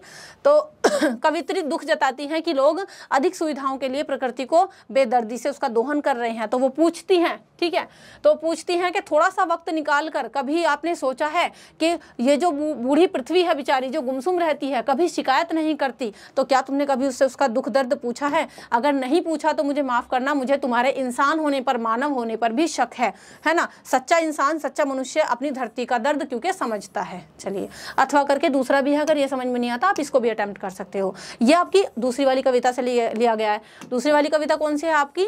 ये है आपकी, है वो वाली चंद्र गहना से लौटती बेर, उस कविता से लिया गया है ये। इसको पढ़िए कि और पैरों के तले एक पोखर उठ रही, इसमें लहरियाँ नील तल में भी तो उगी है घास भूरी ले रही वह भी लहरियाँ। एक चांदी का बड़ा सा गोल खंबा आँख को है चमकाता चमकाता। तो देखो, ये कविता पहले तो आपको प्रसंग बताना है। प्रसंग के अंदर कविता का नाम चंद्र से लौटती बेर है। उसके कवि का नाम है केदारनाथ अग्रवाल जी। तो उन्होंने ये लिखी है। अब ये जो कविता है, इस कविता में चंद्रगहना नाम का एक स्थान है गाँव है। वहाँ से वो लौट रहे थे, यानी चंद्रगहना से लौटती बेर, है ना? तो उन्होंने वहाँ से लौटती बेर हरे भरे खेतों को देखा और उससे वो आनंदित हो गए। फिर उस निर्जन क्षेत्र में उसने कई सुंदर दृश्य भी देखे कवि ने, ठीक है? और वो खेतों की सुंदरता में खोया था, तभी उसका ध्यान नीचे एक तालाब की ओर गया, ठीक है? तो और पैरों के नीचे तो कवि ने देखा कि अरे, नीचे तो एक तालाब है, जिसमें प्यारी प्यारी सी लहरियाँ उठ रही हैं और उसके नीले तल में छोटी छोटी यू नो भूरे रंग की घास उगी हुई है। आप पानी में देखते हो ना, कभी भी घास उग जाती है तो वो यही बता रहा है, ठीक है? और उस घास में भी पानी जैसे जैसे ऐसे हो रहा है ना तो वो घास भी लहरियाँ ले रही हैं। इसके अलावा चांदी का बड़ा सा गोल खंबा आँख को है चमकाता अब चांदी का गोल खंबा किसको कहा गया है? इसको कहा गया है कि शाम के समय तालाब की सतह पर चाँद की चमकदार परछाई दिखाई देती है। पानी के अंदर चाँद की रोशनी पड़ती है और उससे जब वो पानी हिलता है तो ऐसा लगता है कि मतलब चाँद की जो रोशनी है ना, वो एकदम लंबी सी दिखाई देती है। तो ऐसा लग रहा है चांदी का सा सुनहरे रंग गोल खंबा खड़ा हो। खड़ा हो या हिल रहा हो? चलिए, इसका ये था हमारा। नेक्स्ट क्वेश्चन है, निम्नलिखित प्रश्नों में से किन्हीं तीन प्रश्नों के उत्तर 20 से 25 शब्दों में देने हैं। अब देखिए, ये आपकी कविताओं से लिए गए हैं और इसमें ना आपको इसमें व्याख्या नहीं करनी, आपको इन प्रश्नों के उत्तर देने हैं और इसमें आपको लगभग तीन प्रश्नों के उत्तर देने हैं, बीस पच्चीस शब्दों में, यानी ढाई से तीन लाइन में आप उत्तर दे देना। वर्ड लिमिट का भी ध्यान रखना अदरवाइज़ आपका टाइम वेस्ट होता है। तो दो दो नंबर के तीन क्वेश्चन होंगे, जो टोटल छह नंबर के होंगे। पहला है, देखो वही कविताएँ हैं, उनमें से कितने प्रकार के आपके क्वेश्चन अभी तक पूछ लिए गए हैं, जैसे कि आपके fill in the blanks true false और मैच वाले और सही पात्रों से जो है डायलॉग का मिलान करने वाले। अब आपके शॉर्ट क्वेश्चन लॉन्ग क्वेश्चन कविताओं के प्रसंग सहित व्याख्या करिए। काव्य सौंदर्य स्पष्ट करिए, कितने प्रकार के क्वेश्चन आपके लगभग बहुत सारे क्वेश्चन आपके उन्हीं कविताओं से हिर फिर के उन्हीं कविताओं से पूछे जा रहे हैं। तो उन कविताओं को पढ़िए, फिर उन्हीं चैप्टर से आपके इस प्रकार के क्वेश्चन पूछे जा रहे हैं तो इसलिए अपने चैप्टर्स को भी पढ़िए, ठीक है? तो देखिए रहा आवाहन कविता है। इस पहला सॉरी पहला देखते हैं। कवि वृंद के हिसाब से अभ्यास करने का क्या अर्थ होता है? दोहे नामक पाठ से लिया गया है ये, ठीक है? कविता से लिया गया है। दूसरा है, आवाहन कविता के हिसाब से सुख और शांति कैसे आएगी? चंद्र गहना से लौटती बेर कविता के संदर्भ में लिखिए, ठीक है? कविता का नाम है आवाहन के इसके हिसाब से सुख शांति कैसे आएगी? लेकिन लिखना कौन सी कविता के बेस पर है ये? ये जो है चंद्र गहना से लौटती बेर कविता के बेस पर आपको लिखना है। थर्ड है, नगरों की अपेक्षा जो ग्रामीण अंचल होता है, ग्राम, गाँव के जो, गाँव का जो हिसाब किताब होता है, वहाँ शहरों से ज़्यादा प्रेम के लिए अधिक उर्वक उसको माना गया है। अगला है चंद्र गहना से लौटती बेर कविता के संदर्भ में लिखिए कि क्या प्राकृतिक संसाधनों का मनमाना उपयोग करना हमारा अधिकार है? तर्कपूर्ण उत्तर दीजिए। अब पहला आंसर है, देखिए, कवि वृंद के हिसाब से अभ्यास करने का अर्थ यह है कि निरंतर और कठिन मेहनत से हम अपने किसी भी काम में स्किलफुल हो सकते हैं, किसी भी काम में कौशल को विकसित कर सकते हैं और यही सफलता की कुंजी है। लगातार अभ्यास करने से जड़मती भी सुजान हो जाता है। मतलब जो बुद्धिहीन होता है, जिसमें जो है बुद्धि की कमी होती है, वो व्यक्ति भी समझदार और चतुर बन सकता है, अगर वो एक ही चीज़ की बार बार प्रैक्टिस कर रहा है तो। चलिए नेक्स्ट क्वेश्चन है, आवाहन कविता के हिसाब से सुख और शांति तभी आएगी, कब आएगी? जब लोग आपस में मिलकर एकजुट होकर और प्रेम और सहयोग से जीवन बिताएँगे, ठीक है? तो सेकंड का ये था। थर्ड का है कि नगरों की तुलना में जो ग्राम का ग्रामीण अंचल होता है, गाँव के जो लोग होते हैं, गाँव का जो परिवेश होता है, उसको ज़्यादा उर्वर माना गया है, क्योंकि वहाँ की जो मिट्टी होती है, जलवायु होती है, कृषि की परंपराएँ होती हैं, प्राकृतिक संसाधन होते हैं, वो सभी अनुकूल होते हैं। अगला है चंद्र गहना से लौटती बेर इस कविता के संदर्भ में प्राकृतिक संसाधनों का मनमाना उपयोग करना हमारा अधिकार नहीं है। अपने ढंग से हम उनका उपयोग नहीं कर सकते, ठीक है? ये हमारा अधिकार नहीं है। इनका दुरुपयोग पर्यावरण को नुकसान पहुंचाता है। इस प्रकार आपको इन चारों में से तीन प्रश्नों के उत्तर देने थे, जो कि दो दो नंबर के हैं। नेक्स्ट है आपका, ये आपकी जो है पाठों से रिलेटेड क्वेश्चन है। वो सारे कविताओं से थे। इसमें भी ऐसे ही आपके कि चार प्रश्नों में से तीन प्रश्नों के उत्तर दीजिए, जो कि छह नंबर के हैं, और इसमें भी आपको बीस पच्चीस शब्दों में ही देने हैं। सारे के सारे एक ही साथ आपको ये लेसन से मिलेंगे। उन्हीं लेसन से। फिर मैं आपको कह रही हूँ, अपने लेसन को पढ़िए, कविताओं को पढ़िए। पहला है, बहादुर के व्यक्तित्व पर टिप्पणी कीजिए। बहादुर पहला ही लेसन है, उसके व्यक्तित्व के बारे में आप बताइए। दूसरा है, सुखी राजकुमार कहानी के आधार पर राजकुमार के जीवन काल और प्रतिमा बनने के बाद राजकुमार के व्यक्तित्व की तुलना कीजिए। ठीक है? और बताइए कि आपको कौन सा रूप पसंद आया है और क्यों? तीसरा है, नाखून क्यों बढ़ते हैं? पाठ के संदर्भ में बताइए कि गांधी जी किस प्रकार के सुखों को मानव जाति के लिए श्रेष्ठ मानते थे। और चौथा क्वेश्चन है आपका, मूल्यवान वस्तुएँ सस्ती होने पर भी जो है, महंत ने अंधेर नगरी में रहने के लिए मना क्यों किया? अब देखिए, पहला आंसर है कि बहादुर का जो व्यक्तित्व है ना, वो साहस, दृढ़ता और निष्ठा से भरा है। वो हमेशा दूसरों की मदद करने के लिए तैयार रहता है और संघर्षों का सामना भी करता है। ये उसका व्यक्तित्व है जिसके उनको हमने बीस पच्चीस शब्दों में बयान किया है। दूसरा है, राजकुमार के जीवन काल में वो आरामदायक और खुशहाल था। जब वो राजकुमार ज़िंदा था, आराम से अपने महल में रहता था, खुशहाल था। जबकि जब वो एक प्रतिमा के रूप में जो है, जब उसको बना के रखा गया तो वो शांति और स्थिरता का प्रतीक बन गया। तो मुझे प्रतिमा का रूप पसंद है क्योंकि इसमें स्थायित्व है। आपसे पूछा गया है, बताइए कि आपको जो है सुखी राजकुमार, वो जो है जीवन काल में अच्छा लगता था जब वो ज़िंदा था या फिर जब उसकी प्रतिमा बनाकर लगा दी गई तो तब वो अच्छा लगता था। तो आप कह सकते हैं कि भी हमें प्रतिमा के रूप में वो अच्छा लगा, क्योंकि प्रतिमा के रूप में जो है वो एक स्थिरता और शांति का प्रतीक बन गया। चलिए, अगला आंसर है, गांधी जी ने जो है सरलता और आत्मनिर्भरता से मिलने वाले सुखों को ज़्यादा अच्छा बताया है। वह भौतिक सुखों की तुलना में मानसिक और आत्मिक सुख को ज़्यादा महत्वपूर्ण मानते थे। नेक्स्ट है। कि महंत ने अंधेर नगरी में रहने से इसलिए मना कर दिया क्योंकि वहाँ मूल्यवान वस्तुएँ भी जो है ना, वो काफ़ी सस्ती थी। यानी जहाँ जिस राजा को यही नहीं पता कि किस चीज़ का क्या प्राइस होना चाहिए, वो क्या न्याय करेगा और वो किस प्रकार से अपना शासन चलाएगा। तो उसको पता था कि नैतिकता और न्याय का यहाँ पर अभाव है, कमी है और ऐसा जीवन जो है वो सुखद नहीं होता और जब आप लेसन पढ़ते हो तो आपको पता भी चलता है कि उसने सही किया था। नेक्स्ट आपका जो है देख सकते हैं ये रहा। फिर क्वेश्चन नंबर थर्टी टू है, इसमें कहा गया है, निम्नलिखित प्रश्नों में से किन्हीं दो प्रश्नों के उत्तर बीस पच्चीस शब्दों में आपको लिखने हैं। चार नंबर के हैं, ठीक है? तो यहाँ पर आपको दो प्रश्नों के उत्तर देने हैं, ठीक है? दो दो नंबर के। पहला आपका प्रश्न है, आप ऐसे कौन से दो मानवीय मूल्यों को अपनाना चाहेंगे जिससे आपका भविष्य निर्मित हो? वर्णन कीजिए। दूसरा है शतरंज के खिलाड़ी, ये जो कहानी है, इसको लिखने के पीछे जो मुंशी प्रेमचंद जी हैं, उनका क्या उद्देश्य था? क्या चाहते थे वो? क्या मकसद था? तीसरा है समाचारों के चयन की प्रक्रिया, यानी जब समाचार अखबार में छपते हैं तो छपने से पहले जब उनको चुना जाता है तो उस चयन की प्रक्रिया का वर्णन कीजिए। पहला आंसर है, ठीक है, पहले में आपसे पूछा गया है कि कौन से दो मानवीय मूल्यों को अपनाना चाहेंगे जिससे कि आपका भविष्य निर्मित हो। तो आप बता सकते हो? वो वैसे आपके ऊपर डिपेंड करता है, आप आंसर में क्या लिखते हो? पॉजिटिव आंसर ही लिखना वैसे। इस तरीके का प्रश्न आता है अगर कि मैं सत्यता और सहानुभूति को अपनाना चाहूँगा, क्योंकि ये मानवीय मूल्य न केवल मेरी व्यक्तिगत वृद्धि में मदद करेंगे, बल्कि समाज में सकारात्मक बदलाव भी लाएँगे। चलिए नेक्स्ट है। मुंशी प्रेमचंद जी का जो उद्देश्य था इस कहानी को लिखने का तो इस कहानी के माध्यम से वो मानवता, संघर्ष और सामाजिक असमानताओं को उजागर करना था, ठीक है? इस कहानी के माध्यम से वो इन सभी चीज़ों को उजागर करना चाहते थे। उन्होंने शतरंज के खेल से जीवन के संघर्ष को जोड़ा। अगला है समाचारों के चयन की प्रक्रिया में जब कोई समाचार चुना जाता है कि भी हाँ इसको छापना है कल के अखबार में तो किस चीज़ का ध्यान रखा जाता है? उसकी विश्वनीयता का, उसकी प्रासंगिकता का और पाठकों की रुचि का भी कि इंसान सामने वाला क्या पढ़ना चाहता है? तो इन तीन चार चीज़ों को ध्यान में रखते हुए ही महत्वपूर्ण घटनाओं का चुनाव किया जाता है। तो इस तरीके से आपको यहाँ पर तीन में से दो प्रश्नों का उत्तर देने हैं। चलिए नेक्स्ट क्वेश्चन है थर्टी थ्री निम्नलिखित गद्यांश को ध्यान से पढ़िए और पूछे गए प्रश्नों के उत्तर दीजिए, ठीक है? पाँच नंबर का एक आपका जो है गद्यांश आएगा, इसके नीचे कुछ क्वेश्चन दिए जाएँगे पाँच नंबर का। अब देखिए, ये आपके पठित गद्यांश है अपठित भी हमने देखा था ऊपर तो ये आपके पठित है, यानी आपके पाठों से ही लिए गए हैं। गोरेया शहर पर उड़ने लगी, अमीर अपने महलों में रंग अमीर अपने महलों में रंगरलियाँ मना रहे थे और गरीब हाथ फैलाए भीख मांग रहे थे। वह अंधेरी गलियों में से उड़ी और उसने देखा कि भूखे बच्चे जर्द चेहरे लटकाए हुए सूनी निगाहों से देख रहे हैं। एक पुलिया के नीचे दो बच्चे सिकड़े हुए बैठे हैं।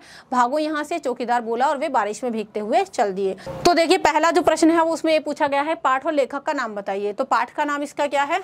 सुखी राजकुमार, ठीक है? और इसके लेखक हैं ऑस्कर वाइल्ड। Oscar Wilde. चलिए।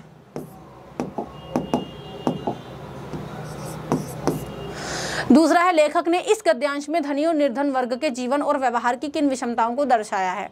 तो भाई यही बताया है कि धनी लोग क्या कर रहे हैं? अमीर अपने महलों में इस तरीके के काम कर रहे हैं और गरीब क्या कर रहे हैं? निर्धन वो जो है हाथ फैलाए, भीख मांग रहे हैं। तो ये आपका आंसर यहाँ तक मिल गया आपको। नेक्स्ट है, आपकी राय में गोरैया सुखी राजकुमार के सानिध्य में क्या सीखती है? मतलब सुखी राजकुमार के वहाँ पर रहकर वो क्या सीखती है? तो यही सीखती है कि किस प्रकार से जो है जीवन की सत्यता क्या है? पुलिया के नीचे दो बच्चे सिकुड़े बैठे हुए हैं और चौकीदार उनको वहाँ से भगा रहा है। तो वो जीवन की सत्य पहलुओं को देखती है और उनको सीखती है। तो चलिए ये इस तरीके से आप एक जो है अटेम्प्ट कर सकते हैं। अगर समझ में नहीं आता तो इसके ऑप्शन में आपको दूसरा भी मिल जाएगा। पठित गद्यांश। तो अथवा करके आपके सामने दूसरा भी है। इसमें है, बात यह है कि कल कोतवाल को फांसी का हुक्म हुआ था और जब फांसी देने को उनको ले गए तो फांसी का फंदा बहुत बड़ा हुआ। ये कहानी थी आपकी अंधेर नगरी, ठीक है? क्योंकि कोतवाल साहब दुबले हैं तो हम लोगों ने महाराज से अर्ज़ किया कि इस पर हुक्म हुआ कि एक मोटा आदमी पकड़कर फांसी दे दो मोटे आदमी को लाओ, उसको पकड़कर फांसी दे दो। क्योंकि बकरी मारने के अपराध में किसी ना किसी को तो फांसी देनी पड़ेगी, सजा देनी पड़ेगी। अगर नहीं दी तो ये न्याय नहीं होगा। तो इसी वास्ते तुमको ले जाते हैं कि कोतवाल के बदले तुमको फांसी दे दें। तो पाठ के लेखक का नाम बताइए और पाठ। तो यहाँ पर आपको पहले पाठ का नाम बताना है। देखिए, पाठ का नाम है हमारा। पाठ का नाम है अंधेर नगरी। और इसको लिखा है मुंशी प्रेमचंद जी ने। ठीक है? पाठ और लेखक का नाम अधेर नगरी और मुंशी प्रेमचंद जी ने उसको लिखा है। दूसरा है पाठ के इस अंश में किस व्यवस्था पर व्यंग किया गया है? तो इसका आंसर भी देख लेते हैं हम। तो इस पाठ के अंश में न्याय व्यवस्था पर व्यंग किया गया है और यहाँ यह दिखाया गया है कि कैसे न्याय करने के लिए एक मोटे आदमी को पकड़कर फांसी जो है देने का निर्णय लिया गया, जबकि असली अपराधी कोतवाल है और यह बताता है कि न्याय की प्रक्रिया कितनी असंगठित और कितनी अन्यायपूर्ण हो सकती है। तीसरा जो हमारा क्वेश्चन है वो ये है कि गद्यांश की भाषा शैली लिखिए कि कैसी है। तो देखिए, जो हमने गद्यांश पढ़ा है, इसकी जो भाषा शैली है ना, वो साधारण है, स्पष्ट है, बातचीत का एक स्वाभाविक प्रभाव है। प्रेमचंद जी ने हिंदी में रोज़मर्रा की भाषा का उपयोग करके गहरे विचारों को आसानी से प्रस्तुत कर दिया है हमारे सामने। अगला है आपका, यहाँ पर एक अवतरण दिया हुआ है, इसकी भी सप्रसंग आपको व्याख्या करनी है, ठीक है? तो ये आप देख सकते हैं, ये भी एक ऐसे ही जो है पैराग्राफ है। एक दिन दोनों मित्र मस्जिद के खंडहर में बैठे हुए शतरंज खेल रहे थे। मीर की बाजी कुछ कमज़ोर थी। मिर्ज़ा साहब उन्हें किस्त पर किस्त दिए जा रहे थे। इतने में कंपनी के सैनिक आते हुए दिखाई दिए और वह गोरों की फौज थी जो लखनऊ पर अधिकार जमाने के लिए आ रही थी। तो इस अवतरण में देखो क्या हो रहा है। इसमें कहा गया है, इसकी जो है प्रसंग सहित व्याख्या कीजिए। इस पहले तो अवतरण बताना है, ये लिया गया है आपका कहाँ से? ये आपका शतरंज के खिलाड़ी पाठ से लिया गया है। तो इस अवतरण में मित्र मीर और मिर्ज़ा साहब एक मस्जिद के खंडर में बैठकर शतरंज खेल रहे हैं। मीर की स्थिति खेल में कमज़ोर है, जबकि मिर्ज़ा साहब उन्हें हर बार सलाह देकर जीतने में मदद कर रहे हैं। इसी बीच लखनऊ पर अधिकार करने आई कंपनी के सैनिकों की एक गौरों की फौज दिखाई देती है उनको, और यह दृश्य उस समय की राजनीतिक और सामाजिक संघर्ष को भी दर्शाता है, जहाँ पर खेल के माध्यम से मित्रता और सामंजस्य के बावजूद बाहरी शक्ति का दबाव बढ़ता जा रहा है। ये जो अवतरण है ना, ये संकेत देता है कि खेल का आनंद लेते हुए भी मित्रों को अपने आसपास के संकटों का ध्यान रखना पड़ता है। अगर ये समझ में नहीं आता तो आप इसको स्किप करके दूसरा भी कर सकते हैं। इस प्रकार से आपका दूसरा क्वेश्चन दिया जाता है कि मैं अपने को बहुत ऊँचा महसूस करने लगा था। अपने परिवार और संबंधियों के बड़प्पन तथा शान बान पर मुझे सदा गर्व रहा है। अब मैं मोहल्ले के लोगों को पहले से भी तुच्छ समझने लगा। मैं सीधे मुँह किसी से बात नहीं करता, किसी की ओर ठीक से देखता भी नहीं और दूसरे के बच्चों को मामूली सी शरारत पर डांट डपट देता था। तो इस अंश में व्यक्ति के घमंड और आत्ममुग्धता को दिखाया गया है। इंसान कितना घमंडी हो जाता है कभी कभी और अपने परिवार और संबंधियों की बढ़ाई पर अपना गर्व महसूस करता है और इस गर्व के वजह से वो मोहल्ले के लोगों को भी नीचा समझने लगता है, तुच्छ समझने लगता है। अब वो किसी से सीधे मुँह बात नहीं करता और दूसरों की ओर ध्यान नहीं देता। यहाँ तक कि वो दूसरों के बच्चों को छोटी छोटी बातों पर भी डांट देता है और ये दर्शाता है कि कैसे घमंड जो है व्यक्ति के प्रभाव को, उसके व्यवहार को प्रभावित करता है और उसे दूसरों से दूर कर देता है। अगला प्रश्न देख लेते हैं। अगले प्रश्न जो है आपका पाँच नंबर का है और इसको आप बड़े स्मार्टली कर सकते हैं। इसमें आप पूरे नंबर अचीव कर सकते हैं। इसमें आपसे कहा गया है कि निम्नलिखित गद्यांश का भार एक तिहाई शब्द में लिखिए। है ना? पाँच नंबर का क्वेश्चन है। एक आपको इस तरीके से पूरा का पूरा पैराग्राफ दे देंगे और कहेंगे कि इसका सार लेखन कीजिए, एक तिहाई शब्दों में इसको लिखिए। अब सार का मतलब क्या होता है? आपको इस प्रकार से कितना बड़ा सा एक पैराग्राफ दे दिया और आपसे कहा गया कि इसको कम शब्दों में लिखिए। लेकिन इस प्रकार लिखना है कि शब्द भी कम हो, लेकिन जो इसके अंदर मेन बातें हैं, वो भी सबकी सब आ जाए। सार लेखन का यही अर्थ होता है, ठीक है? तो अब देखो, इसको आप थोड़ा थोड़ा सा पढ़ेंगे हल्का फुल्का सा। क्योंकि ऐसा डीपली नहीं है, इसके अंदर से क्वेश्चन नहीं छाटने, इसके ऊपर ही लिखना है कम शब्दों में। धर्म हमें दया करना सिखाता है और मन की जड़ में पाप भाव यू नो पलता है। हमें शरीर में प्राण तक रहने तक दया भाव को त्यागना नहीं चाहिए। तो बेसिकली दया के ऊपर है कि इंसान के लिए दया कितनी ज़रूरी है, उसके अंदर दया होनी ही चाहिए। हर एक धर्म हमें दया और करुणा का पाठ पढ़ाता है, परोपकार की भावना है, ये है, वो है। तो इन सब में आपको अच्छाई के बारे में, करुणा के बारे में, दया के बारे में, है ना, श्रम के बारे में, रक्षा के बारे में, धर्म की हमें रक्षा करनी चाहिए, ये सभी बताया गया है। चलिए, जब आप इसको पढ़ लेंगे तो इस प्रकार से कम शब्दों में, एक तिहाई शब्दों में आप इसको बता पाएँगे। जब आप इससे इस प्रकार से लिखें तो आप ध्यान रखें कि जो महत्वपूर्ण महत्वपूर्ण पॉइंट्स हैं इसके अंदर, वो भी आप लिख लें सार लेखन में, है ना? कम शब्द भी हों जितने मांगे गए हैं और छोटे छोटे सिंपल से हिंदी भाषा के शब्द आप इसमें इस्तेमाल करें, ठीक है? सिंपल से सेंटेंस करके, चलिए। अगला है आपका, देखिए, अगला आपका राइटिंग सेक्शन से रिलेटेड क्वेश्चन है मतलब आपका जो है ये लेटर राइटिंग है, ठीक है? तो इसमें आपसे कहा गया है, अपने मोहल्ले में जल संकट से उत्पन्न कठिनाइयों का वर्णन करते हुए दैनिक समाचार के पत्र के संपादक को एक पत्र लिखिए जो लगभग सौ शब्दों में हो। अब आप इतनी शुद्ध हिंदी में कंफ्यूज नहीं होना, आपको क्या ध्यान रखना है। आपसे सिंपल कहा गया है कि आपको एक पत्र लिखना है, लेटर लिखना है, वर्ड लिमिट कितनी है? सो, क्योंकि पाँच नंबर का है तो सो वर्ड लिमिट में तो देंगे ही कम से कम। लिखना किसको है? प्रॉब्लम क्या है? तुम्हारे मोहल्ले में जल संकट बढ़ रहा है, या तो पानी आ नहीं रहा? पानी आ रहा है तो गंदा आ रहा है या फिर टाइम से नहीं आ रहा, है ना? तो ये आपकी प्रॉब्लम है। तो ये जो जल संकट है, इसकी वजह से क्या क्या कठिनाइयाँ फेस करनी पड़ रही हैं दैनिक समाचार पत्र के संपादक को? अब संपादक कौन होता है? आपको ये चीज़ ध्यान रखनी है। जो न्यूज़पेपर को प्रिंट करने का काम करते हैं, उनको संपादक बोलते हैं। आपको जब आप, इसको इंग्लिश में क्या बोलते हैं? इसको इंग्लिश में लेटर टू एडिटर बोलते हैं। ये काफ़ी इंपॉर्टेंट होता है। आपका जो है इंग्लिश में भी लगभग अगर आपके पास इंग्लिश सब्जेक्ट है तो उसमें भी आपका नाइन्टी आपका लेटर टू एडिटर आता ही है। ठीक है? तो हिंदी में भी ऐसी आपका सेम सेम जैसे कि इंग्लिश में आपका फॉर्मेट है, ऐसी हिंदी में है।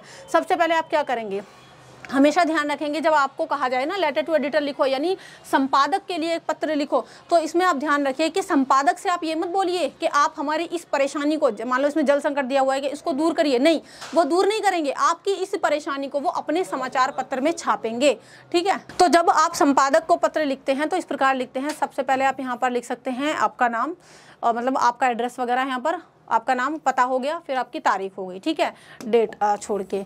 उसके बाद संपादक लिखिए आप संपादक को ही लिख रहे हैं ना आप और समाचार पत्र का नाम यानी जो भी न्यूज़पेपर का नाम हो या, या यहाँ पर आप लिख सकते हैं दैनिक जागरण है ना अमर उजाला जो भी आपके समाचार पत्र का नाम हो जिसको आप भेजना चाह रहे हो कि भी उस समाचार पत्र के माध्यम से हमें इस परेशानी को छपवाना है। विषय विषय भी इंपॉर्टेंट होता है जिसको इंग्लिश में सब्जेक्ट कहते हैं कि भाई मोहल्ले में किस विषय पर आपको लिखना है? कि मोहल्ले में जल संकट से उत्पन्न कौन कौन सी परेशानियाँ हैं? यानी ये रहा आपको विषय तो पहले ही दिया हुआ था कि अपने मोहल्ले में जल संकट। आप इसको ऐसे भी लिख सकते हो केवल कि जल संकट से उत्पन्न कठिनाइयाँ, इस प्रकार भी आप विषय डाल सकते हो, ठीक है? तो आपने विषय डाल दिया, उसके बाद महोदय। अब आपकी यहाँ मेन बात आ गई जो आप लिख रहे हो लेटर में। महोदय, मैं आपको अपने मोहल्ले में जल संकट, जिसको वाटर कैटर बोलते हैं, उससे उत्पन्न परेशानियों के बारे में बताना चाहता हूँ, ठीक है? तो यहाँ पर आपको इंग्लिश में वैसे लिखना नहीं है, मैंने आपको जस्ट समझाने के लिए ये वर्ड यूज़ कर लिया है। तो बस ऐसे ही जैसे कि आप लिखेंगे, लेकिन एक बात का ध्यान रखें, इस प्रकार का जो आप पत्र लिखते हैं ना, वो आपका फॉर्मल लेटर की कैटेगरी में आता है। इसमें आप इनफॉर्मल शब्दों का इस्तेमाल ना करें, औपचारिक तरीके से इसको लिखें, है ना? शब्दों का चयन ध्यान करके आप जो है करें।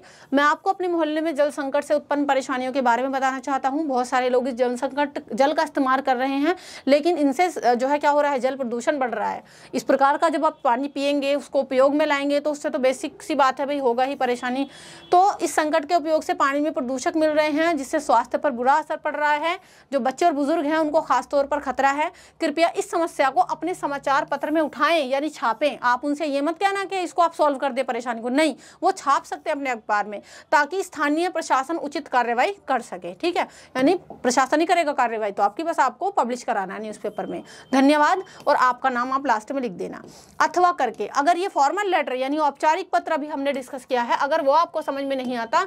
तो औपचारिक के जो है ना, उसमें चॉइस में और आपको जो है अनौपचारिक भी देंगे। ये भी हमने औपचारिक डिस्कस किया था। अभी यहाँ पर दूसरा अथवा में जो आपको मिलेगा तो ये आपको मिलेगा अनौपचारिक। अनौपचारिक का मतलब जो आप किसी अपने फ्रेंड भाई बहन रिलेटिव को लिखते हैं, जिसमें ज़्यादा औपचारिक भाषा का इस्तेमाल करने की ज़रूरत नहीं पड़ती। तो ये आपके अनौपचारिक होते हैं। जैसे कि ये क्वेश्चन है आपका, अपने मित्र को एक पत्र लगभग सौ शब्दों में लिखिए। यहाँ पर मित्र को कहा गया है। हो सकता है आपको भाई बहन को बोल देते, अपने पापा को बोल देते, मम्मी को बोल देते, हैं ना?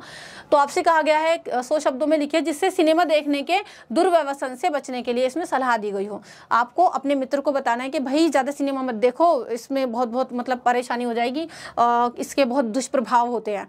कैसे लिखोगे? सबसे पहले अपने मित्र का नाम, प्रिय करके। प्रिय, अपने फ्रेंड का नाम, इसको ऐसे लिखना शुरू कर देना, कोई टेंशन नहीं है, ठीक है? और बस यहाँ पर आप जो है एक चीज़ ऐड कर देना एड्रेस उनका। नमस्ते, आशा है तुम अच्छे हो। मैं तुम्हें सिनेमा देखने के दुर्व्यसन से बचने के लिए कुछ सलाह देना चाहता हूँ। सिनेमा देखना एक अच्छी बात है, लेकिन जब यह हमारी पढ़ाई और स्वास्थ्य पर असर डालने लगे तो यह चिंता का विषय है। तुम अपने समय का बेहतर उपयोग पढ़ाई में कर सकते हो, खेल में कर सकते हो, किसी शौक में कर सकते हो। रोज़ सिनेमा देखने से बोरियत भी होती है, और ये तुम्हारी रचनात्मकता को भी कम करता है, प्रभावित करता है। तो कोशिश करो कि सिनेमा देखना एक हद तक ही सीमित रखो। ऐसे ऐसे आप उसको समझा सकते हो, मोटिवेट कर सकते हो, और भी कुछ इसमें आप ऐड कर सकते हो या हटा सकते हो, ठीक है? वर्ड लिमिट का ध्यान रखना हंड्रेड वर्ड हो, तुम अपना ध्यान रखना, तुम्हारा मित्र और अपना नाम लिख दो लास्ट में। चलिए, अभी हम इसके फाइनल क्वेश्चन की ओर आ जाते हैं। आपका ये क्वेश्चन पेपर जो है, इसका लास्ट क्वेश्चन पूछा जाता है आपसे सात नंबर का, जो कि होता है एक निबंध लेखन, पत्र लेखन हमने ऊपर डिस्कस कर लिया है।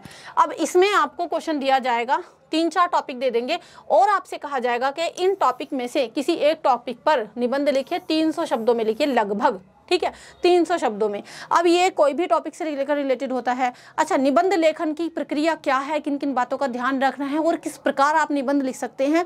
वो वीडियो भी आपको उसी प्लेलिस्ट में मिल जाएगी, जो कि मैंने आपको डिस्क्रिप्शन में दी हुई है। जैसे कि कोई भी जनरल टॉपिक आपको दिया जा सकता है निबंध में। कई सारे होते हैं ना तो आपके पास चॉइस भी होती है, लेकिन ध्यान रखिए कि जब आप निबंध लेखन करें तो उसमें उस टॉपिक को सिलेक्ट करें, जिसके बारे में आप ज़्यादा समझ मतलब लिख सकते हो। आपके माइंड में ज़्यादा पॉइंट्स आ रहे हैं। जैसे कि शहरीकरण से बढ़ता प्रदूषण। या फिर जहाँ चाह वहाँ रहा। समय प्रबंधन का महत्व और भारत के बदलते हुए गाँव, कई सारे आपके टॉपिक होते हैं इस तरीके से। अब जैसे कि फॉर एग्जांपल मैंने यहाँ पर आपको सॉल्व करके दिया है तीसरा वाला कि समय प्रबंधन का महत्व क्या होता है। यानी टाइम मैनेजमेंट का कितनी इंपॉर्टेंस होती है। टाइम मैनेज करना कितना ज़रूरी होता है। है ना? तो समय बहुत ही कीमती होता है। हर एक चीज़ से आई थिंक कीमती समय ही होता है इंसान का।